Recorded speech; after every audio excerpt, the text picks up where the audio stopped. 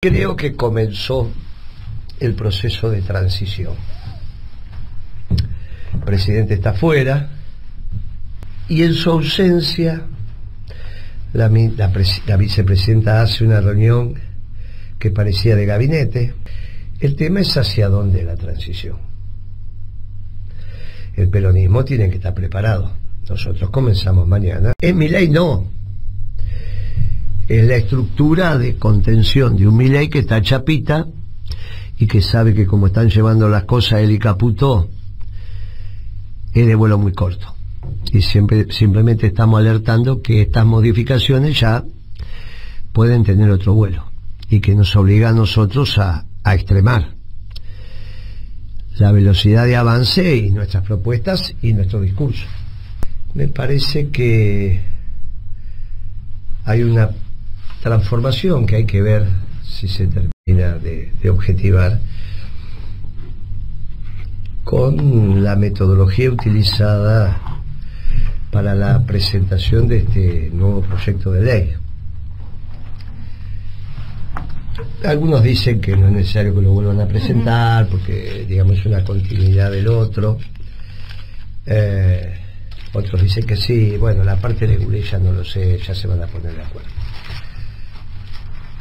Pero de la lectura de esta ley, no solo han disminuido sensiblemente la cantidad de hojas, sino los acápites tocados. E incluso dentro de los temas tocados, eh, tiene modificaciones importantes ya no se habla de privatizar el Banco Nación, sino, bueno, lo pueden vender, pero tiene que seguir siendo controlante el Estado. Y así sucesivamente hay. Y hay empresas que directamente han sido sacadas de la lista de privatización, entre ellas la, la que genera el uranio para mm. las centrales nucleares. Entonces, esta modificación de un anarcocapitalista inflexible. Yo le diría a Pimpi que ese cambio de metodología en la ley en cuanto a su presentación, que ya no es una sorpresa, no nos levantamos y hay un decreto, no nos levantamos y hay una ley, que prácticamente es imposible de leer porque si era por el contrario. La mandaron, le hicieron trascender. Eso significa que la empiezan a aprobar. A ver, ensayo y error. Eh, una cosa es la sorpresa y otra cosa es que... Pero de su lectura también hay cambios importantes. Yo le diría, Pipi, les diría, que creo que comenzó el proceso de transición. El presidente está fuera, nadie sabe por qué va, se va siete, ocho días, no tiene ninguna agenda relevante para eso.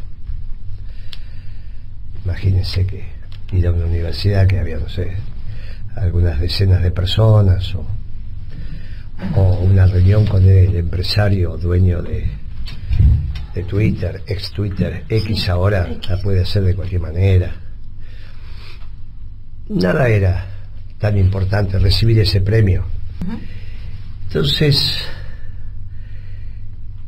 y en su ausencia, la, la vicepresidenta hace una reunión que parecía de gabinete, no solo son los senadores, hay ministros, es raro. Pero sobre todo veo un cambio de orientación en lo que expresa esa ley. El tema es hacia dónde la transición. El peronismo tiene que estar preparado. Nosotros comenzamos mañana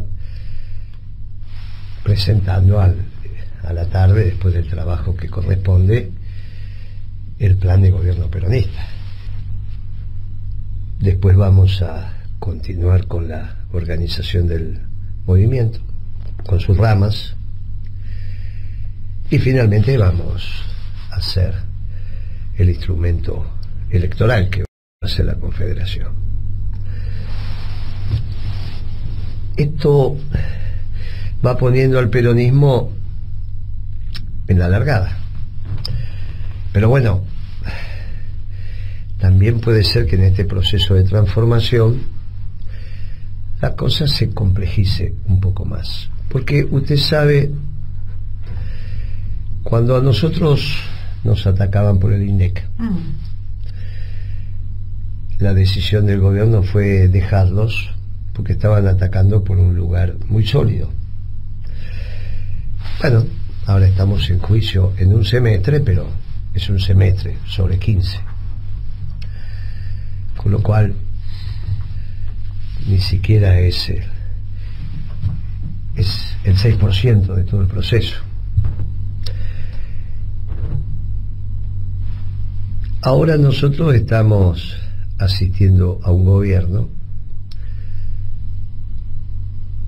que la verdad no es lo más fuerte, es lo más débil. Es un gobierno lleno de, inconsistencias entre la política monetaria, la política fiscal, la política de ingresos. Destruyó los salarios, los sueldos, las jubilaciones, las pensiones, la rentabilidad empresaria el balance del Banco Central está peor, no es que está mejor y el tema fiscal no lo, no lo han resuelto de ninguna manera. Ni siquiera han resuelto el tema externo. ¿eh? Nosotros terminamos hacer nuestras cuentas y nos da déficit del sector externo. Esto no significa que no tengan superávit comercial. Tienen superávit de balanza comercial, pero cuando ese superávit le restamos todos los negativos de la cuenta corriente, la balanza de pagos, intereses, dividendos, la cosa les termina en contra. Ahora, bueno, imagínense que la solución es importar comida o que los argentinos vayan a comprar más barato a los países hermanos. Es ridículo esto. Los países fronterizos. Pero lo que viene, hay que ver cuál es el papel que va a tener mi ley, pero lo que viene puede ser más complejo. Porque le va a dar, lo que viene va a tener, entiendo yo, consistencia interna el esquema. Por ejemplo, si devalúan y sacan las retenciones, van a, salir a dar una salida exportadora. Ya no se va a quejar la sociedad rural. Claro, eso sería esperar. O sea, hay un, un, esquema donde, y algunos grupos empresariales también, tienen la posibilidad de vender afuera. Y también la clase media quizás se sienta cómoda con un modelo a lo brasilero. De Brasil es 60-40, 60 arriba del barco, 40 nadando al costado, que viven de las obras que tira el 60%. 60 dentro del modelo formal, 40 se la rebusca. En Argentina sería 70-30. Pero ese, pues, más rico, somos menos gente. Con 30% de pobreza estructural, esto, la Argentina les puede funcionar. Si le aguanta la política y si ese 30 no se revela. Ahora, es más complicado para nosotros, porque hay sectores que nos acompañan que por ahí dicen, y quizás el progresismo empiece a ser conducido por la Carrió, porque la Carrió va a comprar ese modelo. ¿eh? Los médicos, los psicoanalistas, los vienen pacientes de afuera, hay turismo,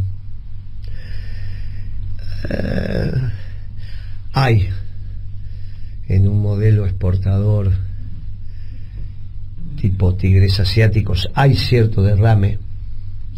No hay duda que van a vender la cosecha como ahora, entonces algún edificio compran, alguna cosa, alguna camioneta, hay. Por eso hablamos de un ponen en movimiento, Claro, por eso digo, no les alcanza para todos, les alcanza para el 70%. Ahora, si ese 70% es conducido políticamente, nos queda el 30% de exclusión más lo que podamos. Claro, ya no estamos con el a favor de la inconsistencia de este esquema narcocapitalista. Ya empieza a ser otro esquema. El esquema como si hubiese ganado Macri, ya con algunos este, trabajos sucios hechos. Te pusieron tan contra la pared que la etapa romántica de la política se terminó. Casi que estamos en una etapa del sálvese quien puede. Si en esto se produce una modificación hacia la racionalidad económica que no nos gusta, pero... Pero que no es, no es inconsistente, sino consistente. Claro. Excluyente, pero consistente. Excluyente, pero consistente. Mm. Entonces ahí, desde el punto de vista económico. Después político, hay que ver si sobre llovido mojado puede ser. No, ya ahora la gente está mal y encima le vas a aumentar el precio de la comida, esto, aquello, pero ya está en el mundo de la política, en el, en el mundo de la consistencia del esquema. Este esquema es solo cuestión de tiempo. Eh, ya incluso hay bastante consenso con que el presidente está chapita. Las cosas que ha hecho, las cosas que ha dicho, ya dudan de su, de su salud mental. Más un esquema económico inconsistente, esto era. Ahora, mi sensación es que quizás reaccionaron. La ida de la CGT es una señal importante a la Casa Rosada.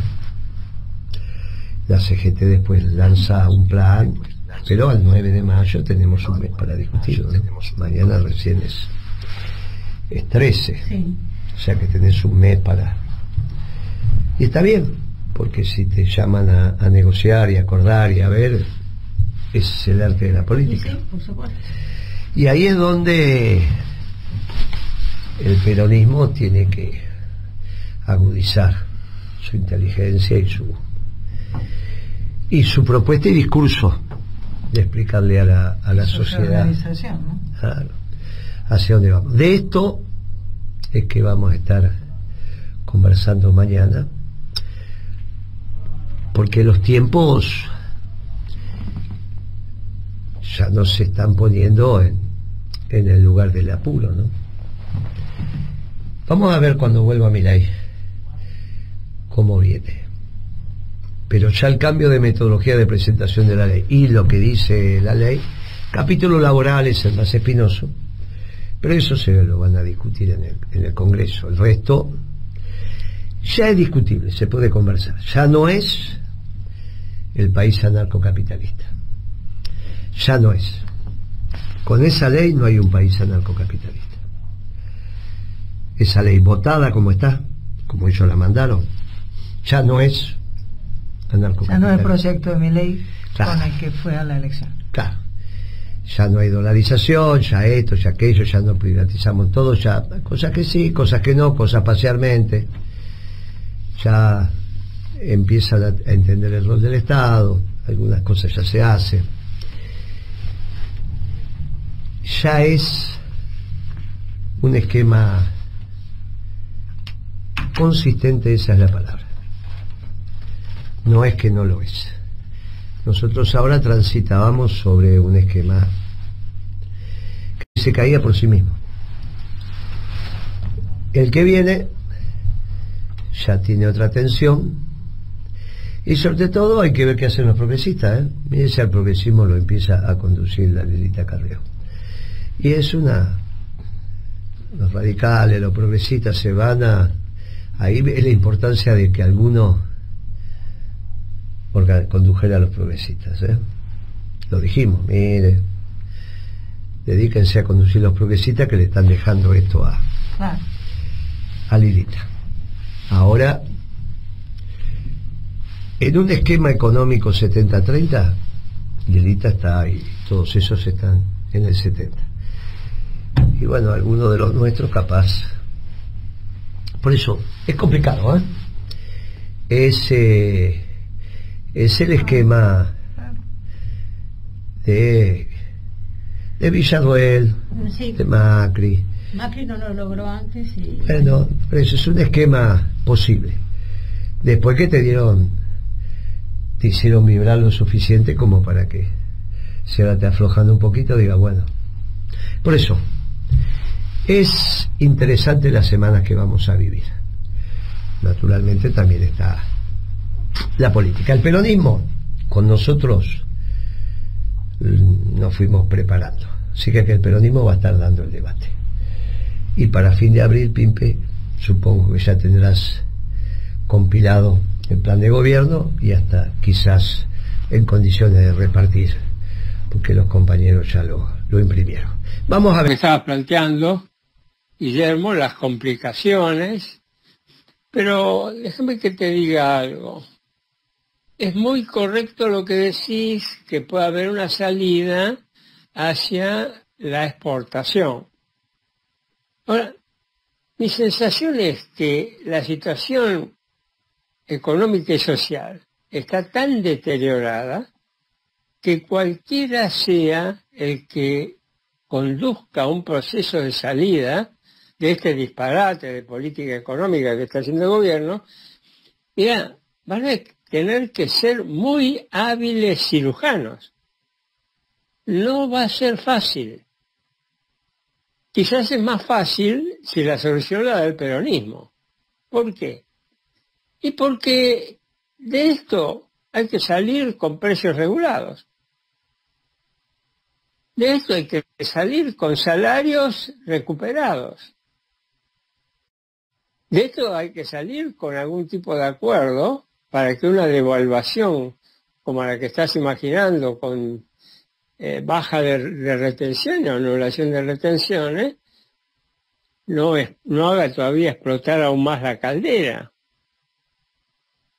Vamos a ver si realmente eh, espero o quien sea que tome control para salir de este desquicio, es la suficiente habilidad para hacerlo. ¿Por qué te digo que el peronismo tiene muchas más posibilidades de hacerlo? Bueno, porque su doctrina le posibilita hacerlo. Ahora, ¿cómo quedaría, no sé cómo llamarlo ya, narcocapitalismo, neoliberalismo, socialdemocracia que tomen, eh, eh, digamos, las riendas de la economía? ¿Cómo quedarían si tuvieran que regular precios? Porque cuidado, los precios en dólares, tenemos inflación en dólares en la Argentina es necesario retrotraerlo. Sí, vos me podés decir, bueno, va a haber una devaluación y eso es más o menos lo mismo. Claro, si los precios se permanecen, permanecen quietos, pero si ante la devaluación los precios siguen en libertad irrestricta, ¿y quién garantiza que después de la devaluación no va a seguir teniendo inflación en dólares? Y que esa inflación en dólares llegue a los insumos y que eso afecte a la producción agropecuaria, a la producción minera. Vamos a necesitar expertos, cirujanos con gran capacidad. Y yo me pregunto, ¿realmente Esper está en condiciones de hacer eso? Disculpadme, pero tengo mis dudas, ¿eh? Claro. decir que es pero no es experto. Muy bien. Eh, el problema, Pablo, es que pensemos que ellos no se están planteando un país con pobreza estructural. Porque mucho de lo que vos dijiste tiene que ver con un país integrado y que estás buscando que todos estén adentro del proceso productivo. Ahora, si ellos deciden que un segmento de la población decididamente se queda fuera, algunos de los elementos que vos manifestaste pueden dejarlo, porque ese 30% va a dejar de consumir por el precio que adquieren los alimentos. Y entonces tendrá la primera, la segunda, la tercera marca para el 70%. Y el resto, con suerte, tendrá una bolsa y comerá lo que pueda. La bolsa de comida, comerá lo que pueda. Estoy de acuerdo. Estoy de acuerdo con vos, Guillermo. Nada más que me parece, me parece, que se invierten los porcentajes con la situación en la cual estamos y no se adoptan medidas que están fuera de la Biblia de esta gente, yo creo que vas a tener 70% de pobres y 30% adentro del sistema. Así, así estamos. Claro, así estamos ahora.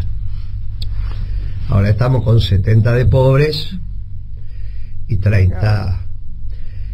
Pero en un esquema de consistencia, hay que ver si ese 30% se la aguanta, porque ya viene muy golpeado, pero está en el mundo de la política. No hay duda, por ejemplo,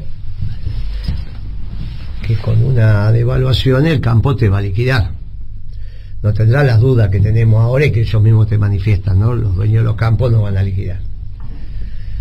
Te van a liquidar la mitad de la cosecha a los productores, la otra mitad que son dueños de los campos no, bueno, hay una serie de certezas que vas ganando en un modelo horrible, en un esquema horrible, pero posible, como en el caso brasilero. Caso brasilero es más extremo porque es 40 afuera. Este Lula, este quien esté, es 40 afuera. Pero bueno, yo te estoy dando una señal de que puede ser que lo que venga, si es que se inició la transición, sea para el peronismo más complicado. Que esto, este esquema narcocapitalista, para el peronismo era un tema sencillo, era cuestión de tiempo por sus propias inconsistencias. Lo otro, hay que reflexionar, pensar, discutir, tener discursos en la opinión pública. Tenemos que acelerar el traco y también pasamos a ser opción. Por eso presentamos el plan económico mañana. Lo que pasa que no la única. Ellos se pueden reinventar en este sesgo. Esto es lo que intentaba transmitir. Sí, de acuerdo. Es así. Acá están en pugna dos modelos el modelo de la primarización y de la economía exportadora y el, modelo de integración peronista. Estoy totalmente de acuerdo con vos. En definitiva, eso es lo que va a quedar después de, de la tormenta. Y nosotros, eh, en términos de fuerza política, tenemos la ventaja de haber preparado la fuerza dentro del peronismo para discutir el plan de gobierno. O sea que hoy, hoy haya una fuerza política que mañana presente un plan de gobierno es un avance. ¿Está bien? Estamos más retrasados en el tema organizacional, puede ser en términos de superestructura, no abajo, ¿eh? abajo la gente está contestes de lo que está pasando. Y sí todavía tenemos que pensar la, la, la, la estructura jurídica de, de la confederación, que es la herramienta electoral. Pero también tenemos semanas por delante que lo podemos ir haciendo. Hasta ahora nunca habían llamado a la CGT con estas características, incluso reconociendo errores, como la propia CGT lo dijo y el gobierno también, ¿no? que se habían metido en lo laboral y no les habían avisado que de alguna manera les pedían disculpas. Bueno, ahora están reviendo metodología también. En mi ley no. Es la estructura de contención de un Miley que está chapita y que sabe que como están llevando las cosas él y Caputo es de vuelo muy corto. Y siempre, simplemente estamos alertando que estas modificaciones ya pueden tener otro vuelo y que nos obliga a nosotros a, extremar la velocidad de avance y nuestras propuestas y nuestro discurso. Ese si tienen tiempo, ¿no? También de, de, dar un giro de estas características. Bueno, eh, en estas condiciones, ¿no? Sí, sí, bueno. El tiempo también lo define la gente en la calle, pero uno está pidiendo que, que eso no se dé. Efectivamente. No, no, no me parece... Responsabilidad. Claro, la política está para que la gente no salga a la calle, no para que tenga que salir. Ese es el último recurso. Porque aparte, los lesionados y las situaciones graves las ponen siempre los mismos, ¿no? Sí. Por eso tratamos de decir, mire muchacho, cuidado con esto. Y esto, Pablo, mañana vas a estar en, en la Comisión de Trabajo y, y Desarrollo Económico.